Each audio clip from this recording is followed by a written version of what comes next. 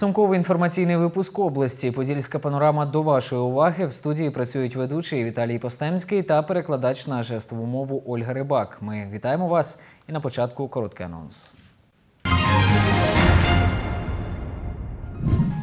Ні води, ні грошей або як дошкільний заклад у Давидківцях Хмельницького району бореться за виживання. Про порушення прав атовців перевізники області відмовляють краянам, серед яких і бійці АТО у безкоштовному проїзді. Новини спорту. Хмельницький клуб Поділля здобув першу перемогу в юнацькому чемпіонаті України з футболу. Садочок без води, бо свердловина не працює. Дошкільний заклад у Давидківцях Хмельницького району досі використовує воду для приготування їжі з криниці. На території навчального закладу побудували свердловину, але так і не здали в експлуатацію. Жителі села вважають, що будівельники недобросовісні та значно переоцінили свою роботу. Прокуратура це підтвердила і за фактом завищення обсягу виконаних робіт відкрили кримінальне провадження і вже розпочато розслідування. Подробиці дивіться в сюжеті. Зима на носі, а води у крані, придатної для споживання, у цьому садочку досі немає. Аби приготувати дітям їжу, воду у бідонах тягають з криниці, а зі свердловини тече жовта рідина сумнівної якості. Ну, На аналізи не здавали. Ми не знаємо, яка Ми то ми розуміємо, ну, їсти возимо таку бетон. Вони ті козерафіни п'ють кип'ячену воду, ми кип'ятимо.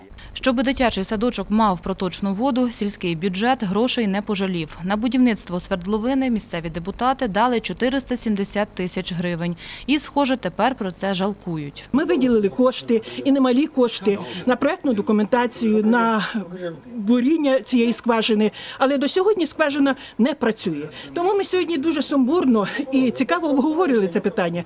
Це хвилює жителів села, е, тому що працювала. Приватна е, компанія, е, от і вони робили, робили і не доробили. Селяни винуватять в усьому будівельну фірму. Вона, мовляв, роботу свою переоцінила як мінімум удвічі, бо півмільйона буріння свердловини навіть разом з виготовленням проекту коштувати не може. Чому так дорого коштує вода для садочка, дізнатися не вдалося. Директора фірми-підрядника на місці немає. На телефонні дзвінки не відповідає. Директор ваш. Від'їхав. Ну, а ви як головний бухгалтер, ви ніяких е, е, Ну, то Нічого любі, ви не можете на наші лю- запитання Любі питання, все, все вирішується з- через директора йде. Жителі села тим часом звернулися до прокуратури, щоб там перевірили, чи справді будівельна фірма взяла занадто дорого за буріння свердловини. В прокуратурі відреагували і вже відкрили кримінальне провадження за фактом завищення обсягу виконаних робіт. Попередня кваліфікація кримінального правопорушення це частина 3 статті 191 Кримінального кодексу України. Е, Зокрема, це е, привласнення бюджетних коштів за попередньою змовою службовими особами сільської ради та е, підрядною організацією. Передбачено кримінальна відповідальність у вигляді позбавлення волі до 5 років. Злочин середньої тяжкості. Зараз у цій справі триває досудове розслідування. Найближчим часом фахівці районного відділу освіти з комісією мають виїхати у садочок, аби перевірити, чи має він взагалі право працювати. У серпні, коли дошкільний заклад готували до навчального року, освітяни свій підпис під актом перевірки не ставили. Ми його не підписали. У зв'язку з тим, що там немає зв'язку з тим, що немає проточної води. Ми не зробили цього. Тобто фактично ми зараз е, Сільський голова сільський голова порушує- сільський порушує голова порушує цю процедуру. Вікторія Паламар, Михайло Габрух для інформаційного випуску. Бути чи не бути 30-поверхівці в центрі Хмельницького? Це питання обговорили на засіданні архітектурно-містобудівної ради. Місцевий хмарочос планують збудувати за адресою Кам'янецька 2, що неподалік від набережної. У житловій 30-поверхівці передбачається вбудовано прибудовані торгівельно-офісні приміщення та ресторани. Замовник будівництва приватне мале підприємство Фінмаркет. Головний архітектор міста Олексій Панасюк переконує, проект ухвалений Мінрегіонбудом та архітекторами міста. котрі вважають, висотність будинку принципово не вплине на екологічну ситуацію у Хмельницькому. Інакше думають представники екологічних та громадських організацій. Вони, зокрема, вважають, розташування господарських та ігрових майданчиків заплановано у межах прибережної санітарно-захисної зони річки Південний Буг, а площа земельної ділянки під будівлю вдвічі менша мінімальної розрахункової. Автору рекомендували переглянути висотність багатоповерхівки, а забудовнику розглянути можливість викупу сусідньої садибної забудови для облаштування благоустрою прибудинкової території без залучення до неї берегової лінії.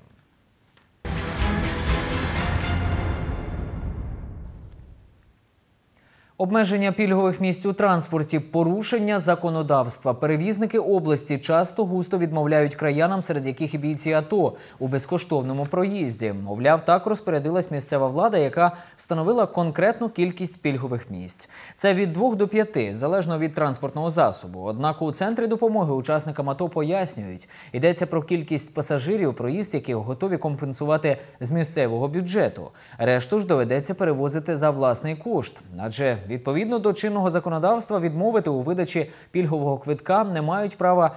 Ані на станції, ані в самому автобусі. Якщо ж скористатися гарантованою державою пільгою не вдається, одразу викликайте поліцію.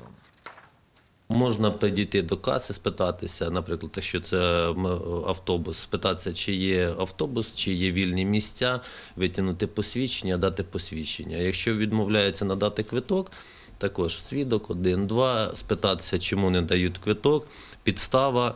Якщо вже тоді відмовляється, так само адміністрація вокзалу, скласти протокол, адмінпротокол, і вже тоді вирішувати питання, чому не надавався квиток. Якщо це наданий квиток і відмовляють йому в автобусі, тобто сам водій, аналогічно.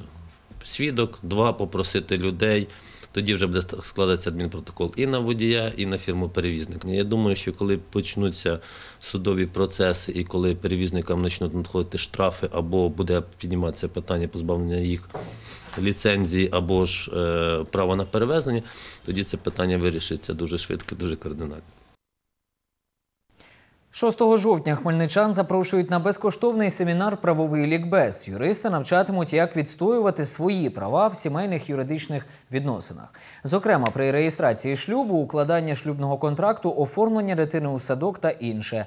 Організатори заходу соціальна ініціатива Хтось не зробить благодійного фонду Карітас. Правовий лікнеп відбудеться у форматі питання-відповіді. Початок о 19 годині. Запланували зробити такий захід, правовий лікбез, участь в ньому безкоштовна.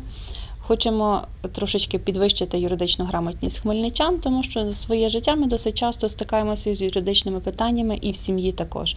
Зокрема, зареєструвати ту ж саму сім'ю. Зараз є така можливість за один день реєстрація шлюбу. Ми будемо питатися наших експертів, що це таке, тому що до нас завітають юрист кваліфікований та суддя. Запрошуємо е, кваліфікованих юристів, які е, пропрацювали в галузі е, сімейного права, цивільного права та кримінального права.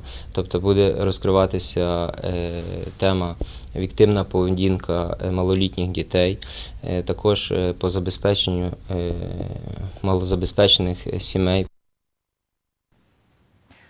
Семінар відбудеться в приміщенні благодійного фонду Карітас, що у Хмельницькому на вулиці Зарічанська, 10, дріб 3. Більше інформації за телефоном, який ви бачите на екрані 067 318 83 88. Саме такою була перша половина подільської панорами. Далі короткий анонс наступної частини програми. Меморандум як вирішення проблеми або чи змусить офіційний документ виплатити заборговані гроші селянам. Автентичні подільські страви, кулінарні майстер-класи та святковий концерт. Чим дивуватиме фестиваль вуличної їжі Проскурівські смаколики. Новини спорту. Хмельницький клуб Поділля здобув першу перемогу в юнацькому чемпіонаті України з футболу. Валерій Онісєв знову керуватиме хмельницькими поліцейськими. З 3 жовтня він офіційно повернувся в крісло начальника міського відділу міліції. Валерій Онісєв був звільнений з посади за підсумками атестації, але Феміда визнала, що його відсторонили від роботи незаконно і поновила його на посаді. Поки тривав суд, хмельницькими правоохоронцями з приставкою ТВО керував Володимир Калашнік. Наразі він перебуває у відпустці. Де працюватиме далі, невідомо. Після переатестації та кількох комісій підполковника Калашніка визнали таким, що цитую недостатньо володіє прийомами та методами управлінської діяльності. Не намагається зробити висновки з результатів психологічних вивчень своєї попередньої керівної діяльності. Меморандум як вирішення проблеми. Вже майже місяць точаться суперечки довкола Білогірського молокозаводу. Черговий етап процесу перемовини у владних кабінетах, під час яких і запропонували підписати меморандум між усіма учасниками, котрим підприємство заборгувало чималі кошти. Нагадаю, у Білогір'ї селяни три тижні тримали в облозі молокозавод. Вимога єдина повернути їм багатомільйонні борги за здане молоко.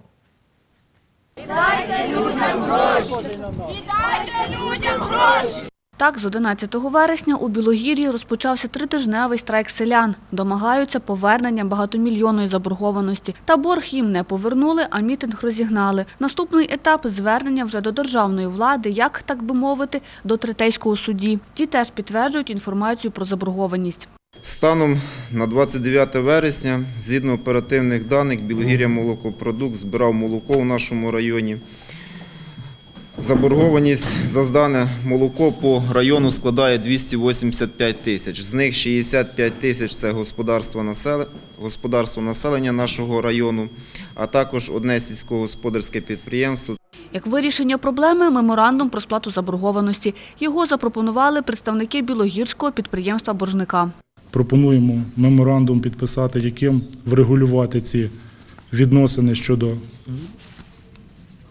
забезпечення, не блокування подальших виробничих потужностей, е, врегулюванням заборгованості, що виникла за договорами про купівлю молока, вирішення питань з передачею сторон, сторонами, сторонам готової продукції, розглядом питання подальшого постачання молочної сировини, якщо виникне таке бажання.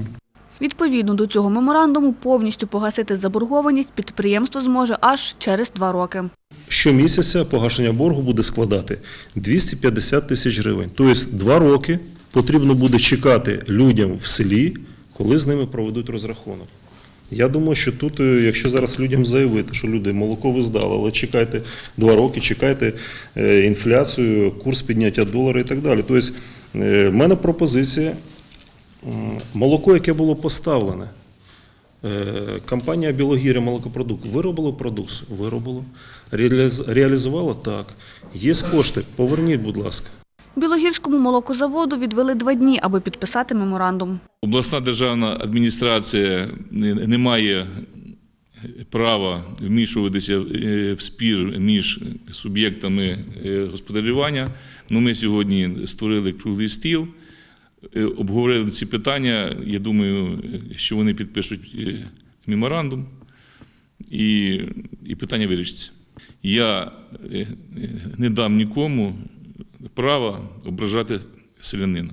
У разі, якщо меморандум не буде підписаний і усі зобов'язання не виконані, буде організована ще одна зустріч у форматі круглого столу. Дарина Денисенко, Володимир Саприкін для інформаційного випуску.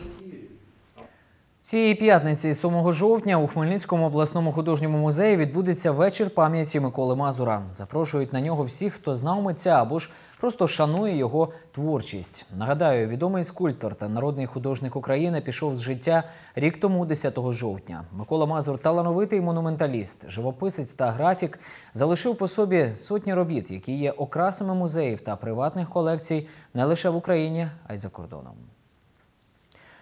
Познайомити хмельничан та гостей з автентичними подільськими стравами та традиціями нашого регіону. Саме із такою метою наша телерадіокомпанія Поділля Центр ініціювала проведення першого фестивалю вуличної їжі Проскурівські смаколики. В програмі заходу, який відбудеться 14-15 жовтня в сквері імені Тараса Шевченка, чимало цікавинок, які не залишать байдужими ані дорослих, ані дітей. Чого саме очікувати? Про це далі. Страви від кращих ресторацій міста можна буде скуштувати прямісінько під відкритим небом 14 та 15 жовтня. На першому фестивалі вуличної їжі, ініційованому нашою телерадіокомпанією Поділля Центр, кухарі знайомитимуть гостей з традиційними подільськими стравами. І не тільки.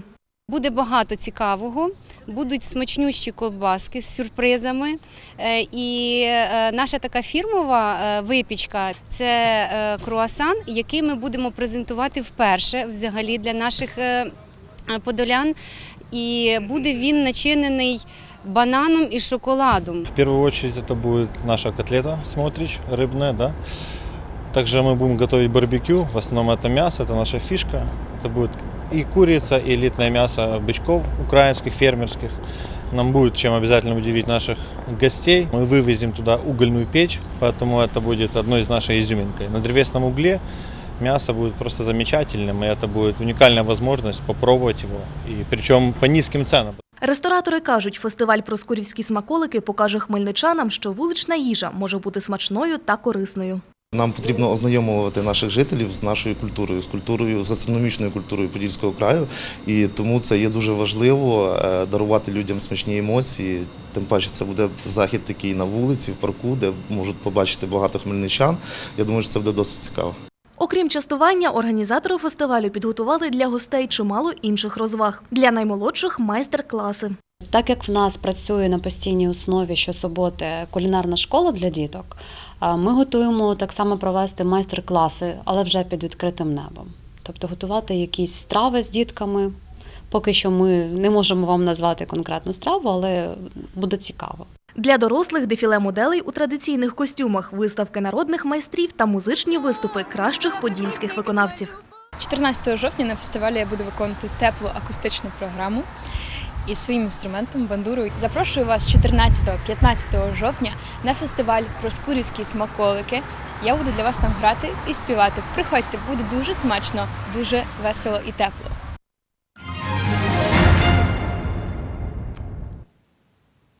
Хмельницькі велосипедистки стали призерками чемпіонату України. Жіноча збірна області здобула срібло у багатоденній гонці у Дрогобичі. В Львівській області саме завершився відкритий чемпіонат України у багатоденній гонці серед чоловіків та жінок з велоспорту на шосе. Участь у змаганнях взяли 22 команди, 109 учасників з різних областей та команда із Білорусі. Хмельницьку область представила команда з чотирьох спортсменок. Наймолодша представниця збірної Дарина Журбій зійшла в другий день змагань, проте це не завадило команді успішно завершити змагання. Після п'яти етапів Олена Урбанович, Христина Радіонова та Ніна Грузевич вибороли е, срібні медалі чемпіонату.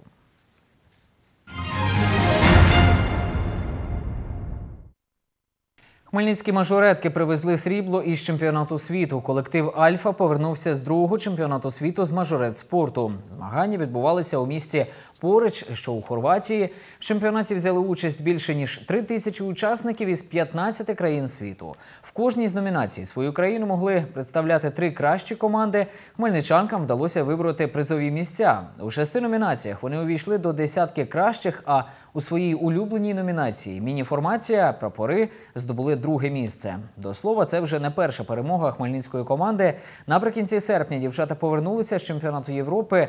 Там наші мажоретки теж вибороли призові місця в кількох номінаціях. Відзначилися наші на чемпіонаті України з картингу. Там хмельницька команда здобула третє місце у фіналі змагань серед учнівської молоді.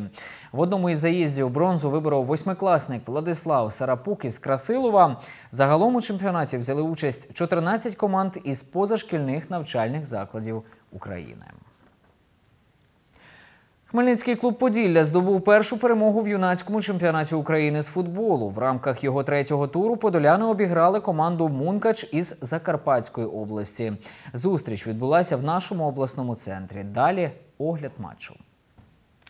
Попри сильний дощ, який супроводжував увесь матч, команди вийшли на поле. З перших хвилин гри футболісти Поділля зайняли атакуючу позицію і створювали небезпечні моменти біля воріт суперника, та одразу забити їм не вдалося. Перший гол зафіксували на 22-й хвилині, забив його подільський захисник Артем Макарченко. Это шла подача с углового, защитники выбили сначала мяч Мукачева. И Влад Чуловский здорово подал мне на дальнюю штангу. Я оказался, получается, набежал и с лету поймал мяч и попал в ворота. Продублювати влучання до кінця першого тайму в Поділля не вийшло. Не відкрив рахунок голам і Мункач. На перерву команди пішли з рахунком 1-0. Друга частина матчу для хмельничан ознаменувалася кількома голами. Гравці ж Мункача, окрім червоної картки в цьому матчі, нічого не заробили. Гра закінчилася з рахунком 3-0 на користь Поділля, та спроби з боку Мункача поцілити хмельницькі ворота таки були. Було пару подач з флангу. Ну і в основному такої серйозної небезпеки біля воріт не було. Все, все захист, як то кажуть, відібрав, вигриз. Дуже гарно зіграв, зіграв захист. Получилось играть с этой командой, с Мукачево, потому что мы э, на- уч- накрывали их на каждом участке поля. Мы не проигрывали борьбу.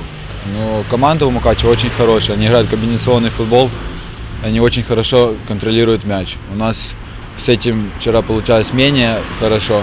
Но что касается борьбы, мы выиграли борьбу, мне кажется, на 90%. Для Поділля це перша перемога в першій лізі юнацького чемпіонату України Ю-19. Дві попередні гри для хмельничан закінчилися нічиєю. Перед каждым матчем тренера говорят, ну, ставят задачу выигрывать. Это самое главное, потому что президент поставил задачу. Ну и вообще это надо стремиться к этому, чтобы выйти в высшую лигу чемпионата Ю-19. Это очень хороший стимул, чтобы играть, вон, напр- например, Динамо Киев, Шахтер Донецк. Это и больше внимания будет обращать на себя. И город Миницкий вообще. Наступний матч Поділля проведе на виїзді проти команди Львів. Він запланований на 12 жовтня.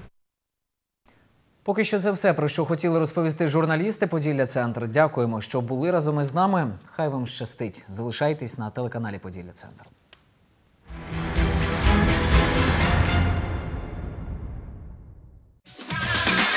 Житловий комплекс Софійський квартал, розташований у затишному місті на вулиці Софійській, що в Старокостянтинові, недалеко від центра міста. Це п'ятиповерховий будинок, перша черга якого здається вже незабаром.